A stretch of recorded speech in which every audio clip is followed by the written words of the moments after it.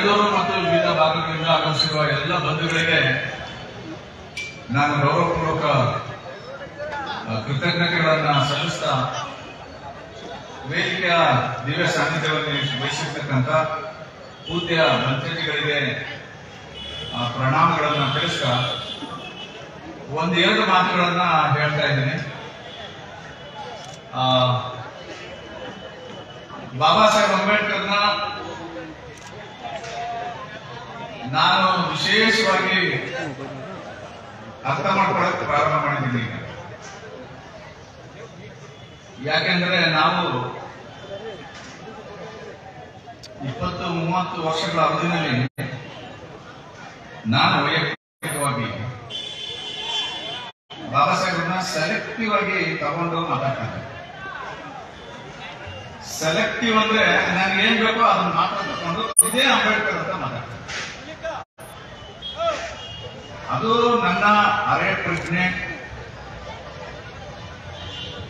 ಮತ್ತು ಬಾಬಾ ಸಾಹೇಬ್ರನ್ನ ಸಂಪೂರ್ಣ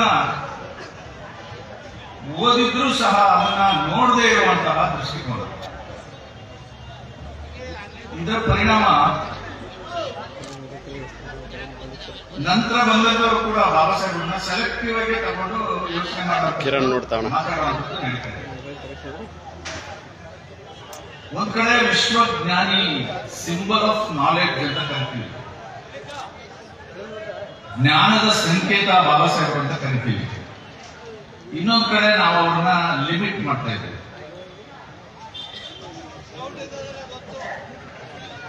ಸೊ ಇಂತಹ ಮನಸ್ಥಿತಿಯಿಂದ ಬಾಬಾ ಸಾಹೇಬ್ ಅಂಬೇಡ್ಕರ್ನ ಆಚೆ ತರಬೇಕು, ಅದ್ರ ಜೊತೆಗೆ ನಾವು ಆಚೆ ಬರಬೇಕು. ನಾವು ಆಚೆ ಬರ್ಬೇಕಾದ್ರೆ ಮಾಧವ್ ಶಂಕರ್ಪುರ ಅವರು ಮಾತಾಡ್ತಾ ಒಂದು ಮಾತು ಹೇಳಿದ್ರು ಒಂದು ಪ್ರತಿಮೆ ಸ್ಥಾಪನೆ ಮಾಡ್ತಕ್ಕಂಥದ್ದು ಸ್ಥಾವರ ಇದ್ದಂಗೆ. ಅದು ಚಲಿಸಲ್ಲ. ಆದ್ರೆ ಅವರ ವಿಚಾರಗಳಿದೆಯಲ್ಲ ಅದು ಜಂಗಮ. ಜಂಗಮ ಅಂದ್ರೆ ಚಲಿಸುವಂಥದ್ದು. ಫಿಸಿಕ್ಸ್ ಅಲ್ಲಿ ಅದನ್ನ ಡೈನಮಿಕ್ಸ್ ಅಂತ ಕರೀತಾರೆ. ಈ ಚಲಿಸ್ತಕ್ಕಂಥದ್ದು ಹೊಸ ಹೊಸ ಹೊಸ ಹೊಸ ರೂಪವನ್ನ ಪಡ್ಕೊಳ್ಳುತ್ತೆ ಯಾವುದು ಸ್ಥಾವರ ಆಗುತ್ತೋ ಚಲಿಸಲು ಅದು ಒಂದು ಕಾಲಕ್ಕೆ ನಶಿಸಿ ಹೋಗುತ್ತೆ. ಹಾಗಾಗಿ ಬಾಬಾ ಸಾಹೇಬ್ರನ್ನ ಸ್ಥಾವರ ಮಾಡಿದ್ದು ಸರಿ. ಆದ್ರೆ ಅವರ ವಿಚಾರಗಳು ಜಂಗಮ, ಆ ಕಡೆ ನಾವು ಮಾತನ್ನ ಬಹಳ ಸೂಕ್ಷ್ಮವಾಗಿ ಹೇಳ್ತಾ ಇದ್ರು, ನಾನು ಪ್ರೆಸ್ ಅಲ್ಲಿ ಮಾತಾಡ್ತಾ ಮಾತಾಡ್ತಾ ಕೇಳಿಸ್ಕೊಂಡೆ. ನೀವು ಇದು ಅರ್ಥ ಆಗ್ಬೇಕು ಅಂತಂದ್ರೆ ಬಾಬಾ ಸಾಹೇಬ್ ಅಂಬೇಡ್ಕರ್ ಅವರು ಸಾವಿರದ ಒಂಬೈನೂರ ಇಪ್ಪತ್ತರಿಂದ ಸಾವಿರದ ಒಂಬೈನೂರ ನಲವತ್ತೊಂಬತ್ತರವರೆಗೆ ಏನು ಹೋರಾಟ ಮಾಡಿದ್ದಾರೆ, ಅದನ್ನ ಒಂದು ಭಾಗವಾಗಿ ಇಟ್ಕೊಳ್ಳಿ ಆದ್ರೆ ನಲವತ್ತೊಂಬತ್ತರಲ್ಲಿ ನವೆಂಬರ್ ಟ್ವೆಂಟಿ ಸಿಕ್ಸ್ ಸಾವಿರದ ಒಂಬೈನೂರ ನಲವತ್ತೊಂಬತ್ತರಲ್ಲಿ ಸಂವಿಧಾನ ರಚನಾ ಸಭೆ ಒಳಗಡೆ ಏನ್ ಮಾತಾಡಿದ್ದಾರೆ, ಅದು ಅಂತಿಮ ಅಂತ ನನಗೆ ಇಡೀ ದೇಶದ ಹಿತದೃಷ್ಟಿಯಿಂದ ಅದು ಅಂತಿಮ. ಮೊನ್ನೆ ಯಾರೋ ಫೇಸ್ಬುಕ್ ಅಲ್ಲಿ ಅದನ್ನ ಹಾಕಿದ್ರು, ಸ್ಪೀಚ್ ಒಂದು ಹತ್ತು ನಿಮಿಷ ಇದೆ. ನಾನು ಕೂತ್ಕೊಂಡು ಕೇಳಿಸ್ಕೊಂಡೆ. ಆ ಹತ್ತು ನಿಮಿಷದ ಇಂಗ್ಲಿಷ್ ಸ್ಪೀಚ್ ಇದೆಯಲ್ಲ, ಅದನ್ನ ನೀವೆಲ್ಲರೂ ಒಂದ್ಸತಿ ಯೂಟ್ಯೂಬ್ ಅಲ್ಲಿ ಹೋಗಿ ಗೂಗಲ್ ಹೋಗಿ ತಗೊಂಡು ಕೇಳಿಸ್ಕೊಂಡು. ನನಗನ್ಸುತ್ತೆ that is what is Baba Saheb Ambedkar ನೋಡ್ರಿ, ಆರು ಸಾವಿರ ಜಾತಿಗಳಿದೆ ನಮ್ಮ ದೇಶದಲ್ಲಿ. ಇದು ಜಾತಿ ವ್ಯವಸ್ಥೆ ಅಂತ ಸೃಷ್ಟಿಯಾಗಿದೆ. ಒಂದೂವರೆ, ಎರಡು ಸಾವಿರ ವರ್ಷ ಆಗಿದೆ. ಇಲ್ಲಿ ಅಸ್ಪೃಶ್ಯತೆ ಅನ್ನೋದು ಸೃಷ್ಟಿಯಾಗಿದೆ, ಒಂದು ಸಾವಿರ ವರ್ಷ ಆಗಿದೆ. ಅದರ ಪರಿಣಾಮ ಕೇರಿಗಳಿದೆ ಊರಿದೆ. ನಗರ ಪ್ರದೇಶಕ್ಕೆ ಬಂದ್ರೆ ಬಡಾವಣೆಗಳಿದೆ, ಬಡಾವಣೆ ದೂರದಲ್ಲಿ ಒಂದು ಸ್ಲಮ್ ಇದೆ. ಇದೆಲ್ಲವೂ ನಿಜ. ಅತ್ಯಂತ ಕಡು ಬಡವರು ಇದ್ದಾರೆ, ಅತ್ಯಂತ ಶ್ರೀಮಂತರು ಇದ್ದಾರೆ ಇಲ್ಲಿ. ಇಷ್ಟೆಲ್ಲ ವೈರುಧ್ಯಗಳ ನಡುವೆ ನಮ್ಮ ದೇಶ ಐಕ್ಯತೆಯಿಂದ ಇವತ್ತು ಇದೆ ಅಂತಂದ್ರೆ ಅದಕ್ಕೆ ಬೇರೆ ಯಾರು ಕಾರಣ ಅಲ್ಲ, ಅದಕ್ಕೆ ಬಾಬಾ ಸಾಹೇಬ್ ಅಂಬೇಡ್ಕರ್ ಕಾರಣ. ಬಾಬಾ ಸಾಹೇಬ್ ಅಂಬೇಡ್ಕರ್ ಅವರ ಸಂವಿಧಾನ ಕಾರಣ. ಪ್ರಸಾದನವರು ಒಂದು ಮಾತನ್ನ ಬಹಳ ಸೂಚ್ಯವಾಗಿ ಹೇಳಿದ್ರು ಸಂವಿಧಾನ ಬದಲಾವಣೆ ಮಾಡಕ್ಕಾದ್ರೆ ಬಗ್ಗೆ ಪುಸ್ತಕ ಅಂತ ಹೇಳಿದ್ರು ಆಡು ಭಾಷೆನಲ್ಲಿ ಅವರು ಯಾರು ಬಂದ್ರು ಬದಲಾವಣೆ ಮಾಡಕ್ ಸಾಧ್ಯನೇ ಇಲ್ಲ ಅಂದ್ರು. ನಾನು ಹೇಳ್ತೀನಿ ಹರಿಹರ ಬ್ರಹ್ಮ ಬಂದ್ರು ಸಾಧ್ಯ ಇಲ್ಲ ತಿಳ್ಕೊಳ್ಳಿ. ಯಾಕೆ ಸಾಧ್ಯ ಇಲ್ಲ ಅಂದ್ರೆ ಭಾರತದ ಸಂವಿಧಾನವನ್ನ ಬದಲಾವಣೆ ಮಾಡಿದ್ರೆ ಭಾರತದ ಅಖಂಡತೆ ಇದೆಯಲ್ಲ, ಅದು ಆಗುದಿಲ್ಲ ಮತ್ತೆ ಇಲ್ಲಿರುವಂತಹ ಸಾವಿರಾರು ಜಾತಿಗಳು, ಸಾವಿರಾರು ಭಾಷೆ ಭಾಷೆ, ಧಾರ್ಮಿಕ ಆಚರಣೆಗಳು ಇದೆಲ್ಲವೂ ಈ ದೇಶವನ್ನ ಹಿಡಿದಿಟ್ಕೊಂಡಿದೆ. ನಾವು ಅನೇಕ ಸಂದರ್ಭಗಳಲ್ಲಿ ಮಾತಾಡ್ತೀವಿ. ವಿವಿಧತೆಯಲ್ಲಿ ಏಕತೆ ಅಂತ ಮಾತಾಡ್ತೀವಿ. ಹೌದು, ನೂರಾರು ಜಾತಿ, ಸಾವಿರಾರು ಜಾತಿಗಳಿದೆ, ನೂರಾರು ಭಾಷೆಗಳಿದೆ, ಎಲ್ಲ ಬಡವ, ಶ್ರೀಮಂತ ಎಲ್ಲ ಇದೆ. ಅದರೆಲ್ಲದರ ನಡುವೆ ಈ ದೇಶದಲ್ಲಿ ಒಂದು ಐಕ್ಯತೆ ಇದೆ. ಇದು ನಮ್ಮ ದೇಶ, ಇದನ್ನ ಕಾಪಾಡ್ಕೋಬೇಕು ಅಂತ ಆ ಸಮಷ್ಟಿ ಮನಸ್ಥಿತಿ ಇದೆಯಲ್ಲ, ಆ ಮನಸ್ಥಿತಿಗೆ ಪೂರಕವಾಗಿ ಬಾಬಾ ಸಾಹೇಬ್ ಅಂಬೇಡ್ಕರ್ ಅವರು ಸಂವಿಧಾನ ಬರೆದರು ಅದನ್ನ ಆ ಕಾನ್ಸ್ಟಿಟ್ಯೂಂಟ್ ಅಸೆಂಬ್ಲಿ ಕೊನೆ ಸ್ಪೀಚ್ ಅಲ್ಲಿ ಅದನ್ನ ಮಾತಾಡ್ತಾರೆ.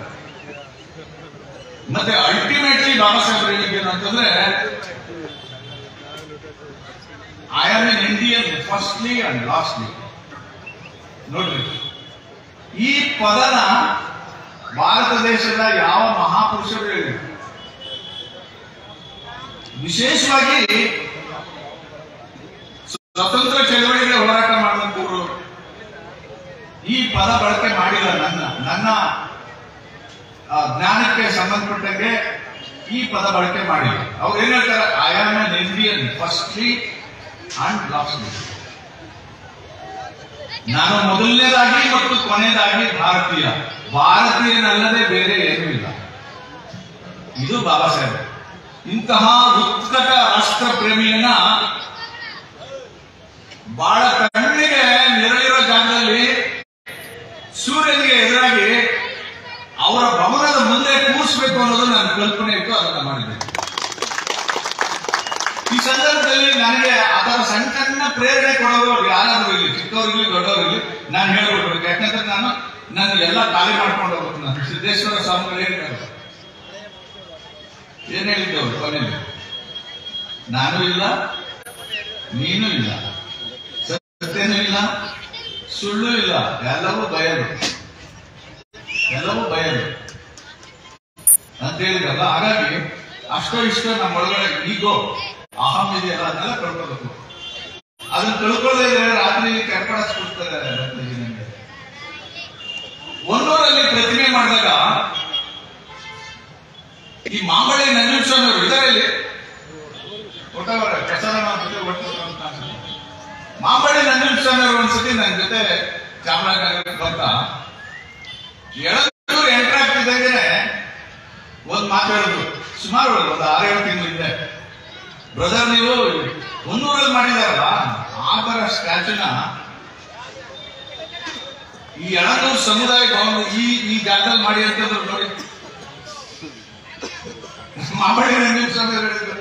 ದೇವರನ್ನ ಹೇಳ್ತೀನಿ ನನಗೆ ಅದು ಬರೋದಿಲ್ಲ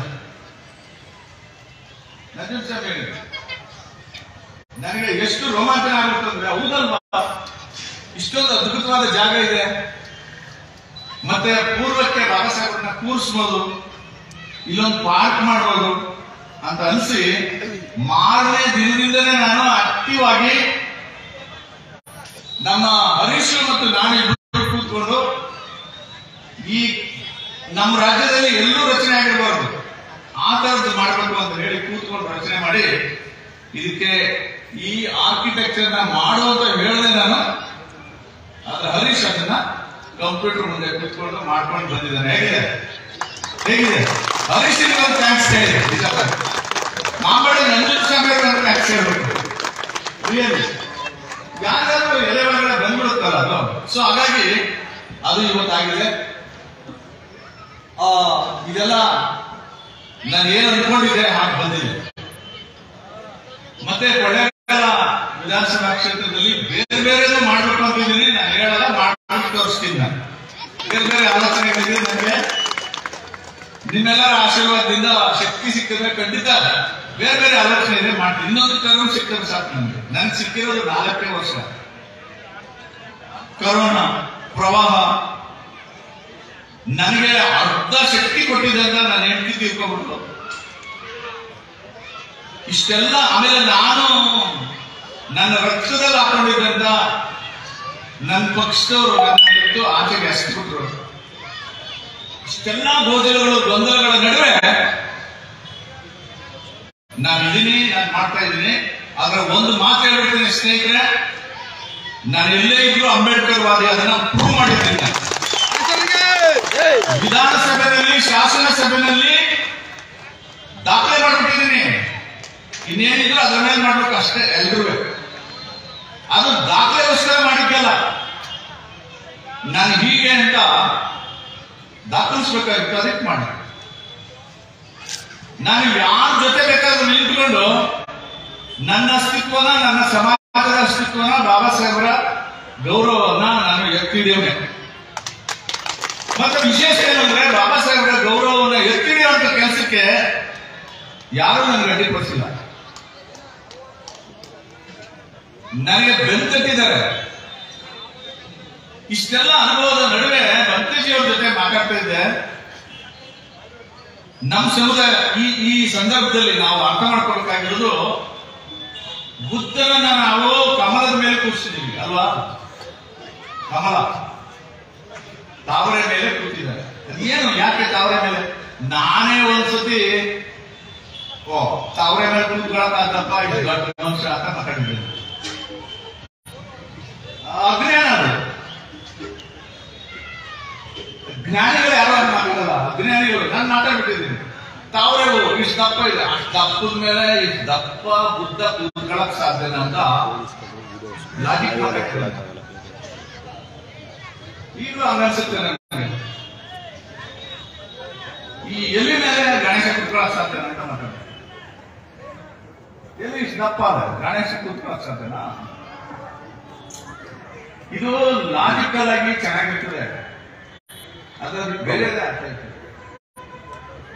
ಈಗ ಉದಾಹರಣೆ ಹೇಳ್ತೀನಿ.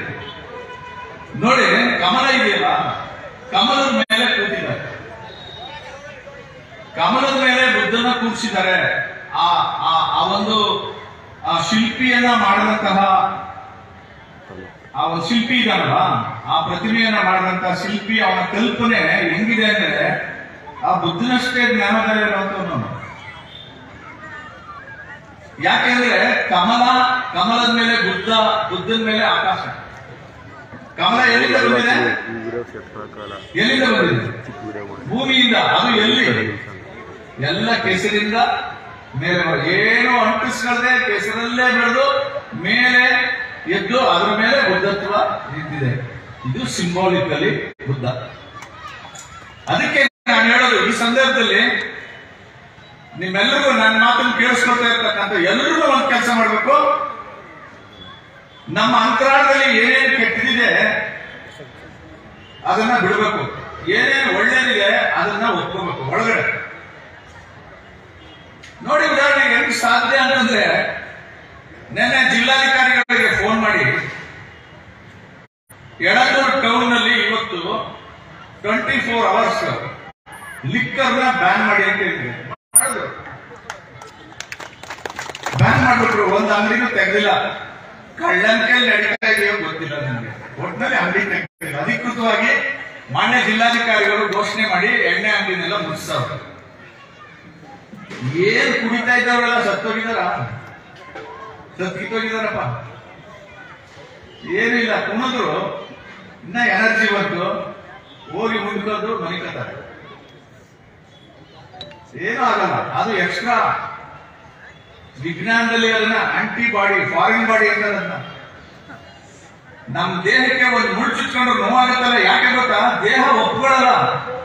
ರವಿ, ದೇಹ ಒಪ್ಕೊಳ್ಳಲ್ಲ ಯಾಕೆಂದ್ರೆ ಇವರ ಆಂಟಿಬಾಡಿ ಇದು ನನ್ನ ದೇಹದ ವಸ್ತು ಅಲ್ಲ ಆಚೆ ಅದನ್ನ ತೆಗೆದ್ರೆ ರಿಲೀಫ್ ಆಗುತ್ತೆ. ಹಂಗೆ ಸಿಗರೇಟ್ ಬೀಡಿ ಡ್ರಿಂಕ್ಸ್ ಅಂದ್ರೆ ಇಂಟಾಕ್ಸಿಕೇಟೆಡ್ ಲಿಕ್ವಿಡ್ಸ್ ಮತ್ತು ಬರುವಂತಹ ಯಾವ್ದಾದ್ರೂ ಆಗಿರಲಿ, Hans Pan Parag charas whisky brandy costly ಎಂಟು ಸಾವಿರ ರೂಪಾಯಿ ಹದಿನಾರು ಸಾವಿರ ರೂಪಾಯಿ ವಿಸ್ಕಿ ಕುಡಿದ್ರೆ ಅದು ಆಂಟಿ ಬಾಡಿನ ತಿಳ್ಕೊಂಡ್ರೆ. ಇದನ್ನ ನಮ್ಮ ದೇಶದಿಂದ ಹೊರಗಡೆ ಹಾಕ್ಬೇಕು. ಯಾಕಪ್ಪ? ಜಗ ಜಗ ನಗ್ತಾ ನೀನು ಒಂದಷ್ಟು ಇದೆ ನಿನ್ನ ಒಳಗಡೆ ಅದನ್ನೆಲ್ಲ ಆಗಾಗ ಎಲ್ಲ ಮಾಡ್ತಾರೆ. ಅವರೇ ತೀರ್ಮಾನ ಮಾಡ್ಬೇಕು. ನಾನೇ? ಅಲ್ವಾ? ನೋಡಿ, ಬುದ್ಧನನ್ನ ನಾವು ಅರ್ಥ ಮಾಡ್ಕೋಬೇಕು ಅಂದ್ರೆ ಎರಡೇ ಕೆಲಸ ಮಾಡಬೇಕು. ಒಂದು ನಮ್ಮೊಳಗಡೆ ಇರ್ತಕ್ಕಂತಹ ಈ ದೇಹಕ್ಕೆ ಸಲ್ಲದ, ಒಲ್ಲದ ಏನೇನಿದೆ ಅದನ್ನ ಆಚೆ ಹಾಕ್ಕೊಳ್ಬೇಕು ಅದನ್ನ ಆಚೆ ಹಾಕ್ತಿದಂಗೆ ನಮ್ಮ ದೇಹದ ಒಳಗಡೆ ಇರ್ತಕ್ಕಂಥ ಶಕ್ತಿ ಇದೆಯಲ್ಲ ಅದು ಮೇಲೆ ಬರ್ತದೆ ಇದನ್ನ ಒಂದು ಮಾಡಬೇಕು. ಈ ಆವರಣದಲ್ಲಿ ನಮ್ಮ ಗೌತಮ ಬಡಾವಣೆ ಮತ್ತೆ ಈ ಟೌನಿನ ಮಕ್ಕಳಿಗೆ ಅದನ್ನ ಕಲಿಸ್ಕೊಡ್ಬೇಕು ಅಂತ ನನ್ಗೆ ಅನ್ಸಿದೆ. ಯಾಕಂದ್ರೆ ನಾನು ಕಲ್ತಿದ್ದೀನಿ ಅದನ್ನ ಇಲ್ಲಿ ಕಲಿಸ್ಕೊಡ್ಬೇಕು ಬರ್ತೀನಿಗಳು ನನಗೆ ಸಪೋರ್ಟ್ ಮಾಡ್ಬೇಕು. ಇಂಚೂರು ಇಷ್ಟಕ್ಕೆ ಸುಮ್ಮನೆ ಬಿಟ್ಬಿಡಲ್ಲ ಇಲ್ಲೇ ಶುರು ಮಾಡ್ಬೇಕಲ್ಲ ಇದನ್ನ ಕಲಿಸ್ಬೇಕು out how to get relieve from negative energies in our body ಇದನ್ನ ಕಲ್ಸ್ಕೊಂಡು ಇಲ್ಲಿ ಮಹೇಂದ್ರ ಇದ್ದಾರೆ ಬಾಬಾ ಸಾಹೇಬ್ರ ಬಗ್ಗೆ ಒಂದು ಹಾಡು ಹೇಳಿದ್ರು. ಅವ್ರು ಹಾಡೋದನ್ನ ಕೇಳಿಸ್ಕೊಂಡ್ರ, ನಾನು ಮಹೇಂದ್ರ ಹಾಡುವಾಗ ಅವನ ನರ ನಾಡಿಗಳು ಎಲ್ಲಾನು ನೋಡ್ತಿರ್ತೀನಿ ನಾನು ಆ ತರ ಎನರ್ಜಿನ ನಮ್ಮ ಮಕ್ಕಳಲ್ಲಿ ಸೃಷ್ಟಿ ಮಾಡಬೇಕಾಗಿದೆ ಮಾಡೋಣ. ಇದು ಒಂದು. ಎರಡನೇದು ಏನ್ ಗೊತ್ತಾ? ನಮ್ಮ ಹೊರಗಡೆ ಜಗತ್ತಿನಲ್ಲಿ ನೂರು ಕೆಟ್ಟದಿರಲಿ. ಒಂದು ಒಳ್ಳೇದಿರ್ತದೆ. ಯಾವ್ದನ್ನ ಆಯ್ಕೆ ಮಾಡ್ಕೋಬೇಕು ನಾವು? ಯಾವ್ದನ್ನ ಆಯ್ಕೆ ಮಾಡ್ಬೇಕು? ನೂರು ಕೆಟ್ಟದನ್ನ ಆಯ್ಕೆ ಮಾಡ್ಕೋಬೇಕ? ಒಂದು ಒಳ್ಳೇದನ್ನ ಆಯ್ಕೆ ಮಾಡ್ಕೋಬೇಕ? ಒಂದು ಒಳ್ಳೇದೇನಿದೆ ಅದನ್ನ ಆಯ್ಕೆ ಮಾಡ್ಬೇಕು ಇವತ್ತು ಆಧುನಿಕ ಜಗತ್ತು ಯಾವ ಕಡೆಗೆ ಹೋಗ್ತಾ ಇದೆ ಅಂತಂದ್ರೆ ಬರೀ ಕೆಟ್ಟದನ್ನೇ ಆಯ್ಕೆ ಮಾಡುವಂಥದ್ದು. ನಾನೊಬ್ಬ ಸೈಕಾಲಜಿಸ್ಟ್ ಆಗಿ ಹೇಳ್ತೀನಿ, ಬಂಧುಗಳೇ. ಗುಪ್ತ ಹೇಳ್ತಾರೆ, ನೀನು ಸಕಾರಾತ್ಮಕ ಕರ್ಮ ಮಾಡಿದ್ರೆ ಸಕಾರಾತ್ಮಕ ಫಲಿತಾಂಶ. ಏನ್ ಬರ್ತದೆ ಫಲಿತಾಂಶ ಅಂದ್ರೆ ನಿನ್ನ ದೇಹದ ನಿರಂತರ ನಿನ್ನನ್ನ ಹಿಂಬಾಲಿಸುತ್ತೆ. ಅದೇ ನೀನು ನಕಾರಾತ್ಮಕ. ನಕಾರಾತ್ಮಕವಾದಂತ ಮನಸ್ಥಿತಿ, ಕೆಲಸ, ಕಾರ್ಯ ಮಾಡಿದ್ರೆ ಅಥವಾ ಕರ್ಮ ಮಾಡಿದ್ರೆ ನಕಾರಾತ್ಮಕ ಫಲವೇ ಸಿಗೋದು. ನಕಾರಾತ್ಮಕ ಕರ್ಮ ಮಾಡಿ, ಕರ್ಮ ಅಂದ್ರೆ ಹಣೆ ಬರಲ್ಲ, ಕಾಯಕ. ಬಸವಣ್ಣನ ಭಾಷೆಯಲ್ಲಿ ಹೇಳೋದಂದ್ರೆ ಕಾಯಕ. ನಕಾರಾತ್ಮಕ ಕಾಯಕವನ್ನ ಮಾಡಿದ್ರೆ ನಕಾರಾತ್ಮಕ ಫಲಿತಾಂಶ ಸಿಗುತ್ತೆ. ಸಕಾರಾತ್ಮಕ ಕಾಯಕ ಮಾಡಿದ್ರೆ ಸಕಾರಾತ್ಮಕ ಫಲಿತಾಂಶ ಸಿಗುತ್ತೆ. ಏನ್ ಸಿಗುತ್ತೆ ಅಂತ ಬುದ್ಧ ಹೇಳ್ತೇನೆ ಅಂದ್ರೆ, ನಿನ್ನ ದೇಹದ ನೆರಳು ಇದೆಯಲ್ಲ, ನಿನ್ ಜೊತೆ ಬರ್ತಾ ಇರ್ತೀರ ನೀನ್ ಎಲ್ಲೋದ್ರು. ಹಂಗ್ ಬರುತ್ತೆ ಅಂತ. ಸೊ ಈ ಆವರಣದಲ್ಲಿ ಇಡೀ ಯಳಂದೂರು ತಾಲೂಕಿನವರು ಅಥವಾ ನಮ್ಮ ವಿಧಾನಸಭಾ ಕ್ಷೇತ್ರ, ನಮ್ಮ ಜಿಲ್ಲೆ, ನಮ್ಮ ರಾಜ್ಯದ ಜನ ಹತ್ತು ತಪ್ಪುಗಳಲ್ಲಿ ಒಂದು ಒಳ್ಳೇದಿದೆಯಲ್ಲ, ಅದನ್ನು ಮಾತ್ರ ಆಯ್ಕೆ ಮಾಡ್ಕೊಂಡು ಕಲ್ತ್ಕೊಳ್ಳಿ ಎಲ್ಲಿಂದ ಶುರುವಾಗಬೇಕಿಲ್ಲ ಅಂದ್ರೆ ನಿಮ್ಮಿಂದ ಶುರುವಾಗಬೇಕು ನಿಮ್ಮ ಮನೆಯಿಂದ ಶುರುವಾಗ ನಿಮ್ ಸಮುದಾಯದಿಂದ ಶುರುವಾಗಬೇಕು ಹೀಗೆ ಮಾಡಿದ್ರೆ ಮಾತ್ರ ನಾವು ಸಕ್ಸಸ್ಫುಲ್ ಪರ್ಸನಾಲಿಟಿ ಆಗ್ತೀವಿ Baba Saheb Ambedkar is a successful personality ಯಾಕೆ ಗೊತ್ತಾ? ನೆಗೆಟಿವ್ಸ್ ನೆಲ್ಲ ಸೈಡ್ ಇಟ್ಕೊಳ್ಬಿಟ್ಟು ಪಾಸಿಟಿವ್ ಆಗಿ ಹೋಗ್ತೀವಿ ಯಾರು ಅವ್ರ ಮುಂದೆ ನಿಂತ್ಕೊಳಕ್ ಆಗಲಿಲ್ಲ? ಸೊ ಹಾಗಾಗಿ ಇವತ್ತಿನಿಂದ ನಾವೊಂದು ಸಂಕಲ್ಪ ಮಾಡೋಣ ಬಿಕ್ಕುಗಳ ಸಮ್ಮುಖದಲ್ಲಿ ಸಂಕಲ್ಪ ಮಾಡೋಣ. ಅದೇನಂತಂದ್ರೆ, ಹತ್ತಾರು ತಪ್ಪುಗಳ ನಡುವೆ, ಹತ್ತಾರು ಕೆಟ್ಟದ ನಡುವೆ ಒಳ್ಳೇದೇನಿದೆ ಅದನ್ನ ಆಯ್ಕೆ ಮಾಡ್ಕೊಳ್ತಾ, ಒಳ್ಳೇದನ್ನ ಜಾಸ್ತಿ ಮಾಡ್ತಾ ಮಾಡ್ತಾ, ಕೆಟ್ಟದನ್ನ ಕಡಿಮೆ ಮಾಡ್ತಾ ಮಾಡ್ತಾ, ಒಂದು ದಿನ ಎಲ್ಲಿ ತಲುಪಬೇಕು ಅಂತಂದ್ರೆ, ನಾನು ಇಲ್ಲ, ನೀನು ಇಲ್ಲ, ಸತ್ಯನೂ ಇಲ್ಲ, ಸುಳ್ಳು ಇಲ್ಲ, ಎಲ್ಲವೂ ಬಯಲು ಬಯಲು ಬಯಲು. ನಾವೆಲ್ಲ ಬದುಕಿರೋ ಕಾಲಘಟ್ಟದಲ್ಲಿ ಸಿದ್ದೇಶ್ವರ ಸ್ವಾಮಿಗಳು ಎಂತ ಅದ್ಭುತವಾದಂತ. ಇದನ್ನ ಎರಡೂವರೆ ಸಾವಿರ ವರ್ಷಗಳಿಂದ ಹಿಂದೆನೆ ಗೌತಮ ಬುದ್ಧರು ಹೇಳ್ಬಿಟ್ಟಿದ್ದಾರೆ. ಅಲ್ವಾ? ಆ ದಿಕ್ಕಿನಲ್ಲಿ ಮುನ್ನಡೆಯೋಣ. ಇವತ್ತಿಂದ ಒಂದು ಸಕಾರಾತ್ಮಕವಾದಂತ ವಾತಾವರಣ ಇಲ್ಲಿ ನಡೀಲಿ ಅಂತ ಹೇಳಕ ಈ ಗೌತಮ್ ಬಡಾವಣೆಯ ಬಂಧುಗಳಿಗೆ ನನ್ನ ಕಿವಿ ಮಾತೇನಂದ್ರೆ ನಿಮ್ಮ ಮಡಿಲಿಗೆ ಹಾಕ್ಬಿಟ್ಟಿದ್ದೀನಿ ಈ ಪ್ರದೇಶನ. ಮಾಜಿ ಶಾಸಕರು, ಸಂಸದರು ಹಾಲಿ ಸಂಸದರು ಶಾಸಕರು ಎಲ್ಲ ಸೇರಿ ಈ ಭವನವನ್ನ ಬಾಬಾ ಸಾಹೇಬ್ರನ್ನ ನಿಮ್ ಮಡ್ಲಿಗೆ ಹಾಕಿದೀವಿ ಸಿಂಬಾಲಿಕ್ ಆಗಿ ಹೇಳ್ತಾ ಇದ್ದೀನಿ. ಇದನ್ನ ಕಾಪಾಡ್ಕೊಳ್ಳೋ ಜವಾಬ್ದಾರಿ ಗೌತಮ್ ಬಡಾವಣೆಯ ಬಂಧುಗಳಿಗೆ. ಹೆಂಗ್ ಕೆಲಸ ಮಾಡ್ಬೇಕು ಅಂದ್ರೆ ನಮ್ ಕಲಾವಿದನ ಇದ್ದಾನಲ್ಲ ಎಂತ ಕಾಳಿ ಕಾಳಿ ಮಹೇಶ್. ಕಾಳಿ ಪ್ರಸಾದ್ ಇದ್ದಾನಲ್ಲ ಅವ್ರ ಅಪ್ಪ ಅವನಲ್ಲ? ಹಂಗಾಗತ್ತೆ ನೀವೆಲ್ಲ. ಕಾಳಿ ಪ್ರಸಾದ್ನವ್ರ ಅಪ್ಪ. ದಿನಾ ಬಂದು ಗಾಳಿ ಪ್ರಸಾದ್. ಕಾಳಿ ಪ್ರಸಾದ್ನವ್ರ ಅಪ್ಪ ಕಸ ಗುಡ್ಸೋನಿಗೆ ಕ್ಲೀನ್ ಮಾಡೋನು. ಹರೀಶನಿಗೆ ಹೆಜ್ಜೆಗೂ ಬೆನ್ನೆಲುವಾಗಿ ನಿಂತ್ಕೊಂಡವನು. ಸೊ ಈಗ ಇಡೀ ಗೌತಮ ಬಡಾವಣೆಯ ಎಲ್ಲರೂ ಕೆಲಸ ಮಾಡ್ಬೇಕು. ನೀವು ಮಾಡ್ಲಿಲ್ಲ ಅಂದ್ರೆ ಚಿಕ್ಕ ಕಟ್ಕೊಂಡು ಒಂದ್ ವಾರ ನಾನೇ ಮಾಡ್ತೀನಿ ಅಂತ. ಏನಪ್ಪ? ಗಾಳಿ ಪ್ರಸಾದ? ಮಹೇಶ್ ಮಾಡ್ಬೇಕು ಇದನ್ನ. ಇದನ್ನ ಮೇಂಟೈನ್ ಮಾಡ್ಬೇಕು. ಸೊ ಇದನ್ನ ಮೇಂಟೈನ್ ಮಾಡಿ ತುಂಬಾ ಜನ ಇದು ಒಂದು ಜ್ಞಾನ ಕೇಂದ್ರ ಆಗ್ಲಿ ಅಧ್ಯಯನ ಕೇಂದ್ರ ಆಗ್ಲಿ ಸಂಶೋಧನಾ ಕೇಂದ್ರ ಆಗ್ಲಿ ಅಂತ ಸಲಹೆ ಕೊಟ್ಟಿದ್ದಾರೆ. ಇದೊಂದಷ್ಟು ಕೊರತೆಗಳಿದೆ ನಾನು ಅದನ್ನು ಸರಿ ಮಾಡಿಸ್ತೀನಿ. ನಾಲ್ಕು ರೂಮ್ಗಳು ಬೇಕು ಬತ್ತೇಜಿ ಇದೆಲ್ಲೇ ಕಟ್ಟಿದ್ರು ಇದು ಡ್ಯೂಟಿ ಹಾಳಾಗುತ್ತದೆ ಅದಕ್ಕೋಸ್ಕರ ಬುದ್ಧ ಮಂದಿರ ಇದೆಯಲ್ಲ ಅದ್ರ ಮೇಲೆ ಎರಡು ಫ್ಲೋರ್ ಕಟ್ಟಣ ಅದ್ರ ಮೇಲೆ ಎರಡು ಫ್ಲೋರ್ ಕಟ್ಟಿದ್ರೆ ನಾಲ್ಕು ರೂಮ್ ಆಗುತ್ತೆ. ಈ ನಾಲ್ಕು ರೂಮ್ ಅಲ್ಲಿ ಮದುವೆ ಮಾಡ್ಕೊಳ್ಳೋರು ಅವ್ರಿಗೆಲ್ಲ ಅನುಕೂಲ ಆಗುತ್ತೆ. ಅದನ್ನ ಮಾಡಿಸ್ತೀನಿ. ಅದಕ್ಕೆ ಅನುದಾನದ ಕೊರತೆ ಏನಿಲ್ಲ, ಇದೆ. ಅದನ್ನೆಲ್ಲ ಮಾಡಿಸಿ ಇನ್ನ ಅದ್ಭುತವಾಗಿ ಕಾಪಾಡೋಣ ಇದೆ ಅಲ್ಲ ನಂದು ಹೇಳ್ಕ ಹಾ. ಗಾಳಿ ಪ್ರಸಾದ್ ಅವ್ರ ಅಪ್ಪ, ಏನಣ್ಣ ನಿನ್ನ ಹೆಸರು? ಗುರ್ಲಿಂಗಯ್ಯ ಒಂದು ಹಾರಗಿರ ಕುರ್ರೆ ಬಣ ಇರ್ತಾರೆ ಅಲ್ಲೇ ಬುಟ್ಟಿಯಾದ ಬಣ. ಬುಟ್ಟಿಯಾದ ಎತ್ಕೊಳ್ಳಿ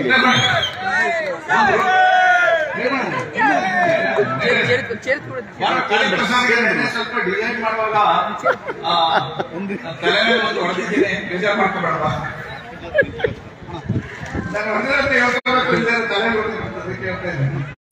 ಅವ್ರಿಗೆ ಸನ್ಮಾನ ಮಾಡೋಣ. ಮತ್ತೆ ಇದಕ್ಕೆ ಇದಕ್ಕೆ ಇನ್ನೊಬ್ರು ನನಗೆ ಬೆನ್ನೆಲುಬಾಗಿ ನಿಂತ್ಕೊಂಡು ನನಗೆ ಕೆಲಸ ಮಾಡಿದಂತವ್ರು ನಿರ್ಮಿತಿ ಕೇಂದ್ರದ ಇಂಜಿನಿಯರ್ ಇದ್ದಾನೆ ಬಾರಪ್ಪ ನೀನು. ನಂದೀಶ್ ಅಂತ. ನಮ್ಮ ನಿರ್ಮಿತಿ ಕೇಂದ್ರದ ಇಂಜಿನಿಯರ್ ಒಳ್ಳೆ ಹುಡುಗ. ಹೇಳಿದ ಕೆಲಸವನ್ನೆಲ್ಲ ಶಿಸ್ತಾಗಿ ಮಾಡ್ತಾನೆ. ಅವನು ಕೂಡ ಅಂಬೇಡ್ಕರ್ ಸೇವಾ ಸಮಿತಿಯ ಬಂಧುಗಳು ಅವರಿಗೆ ಚಂದನ ಮಾಡ್ತಾರೆ. ಸೊ ಇವರಿಗೆ ಕಾಳಿ ಪ್ರಸಾದ್ ಮತ್ತು ಅವರ ಅಪ್ಪನಿಗೆ ಒಂದು ಸನ್ಮಾನ ಮಾಡೋಣ. ನಾನು ಸೇರ್ಕೋತೀನಿ ಅಂತ ಹೇಳ್ತಾ, ಇಷ್ಟು ಮಾತಾಡಲಿಕ್ಕೆ ಅವಕಾಶ ಕೊಟ್ಟಂತ ನಿಮ್ಮೆಲ್ಲರಿಗೂ, ಮತ್ತು ಈ ಕಾರ್ಯಕ್ರಮವನ್ನು ಯಶಸ್ವಿ ಮಾಡುವಂತ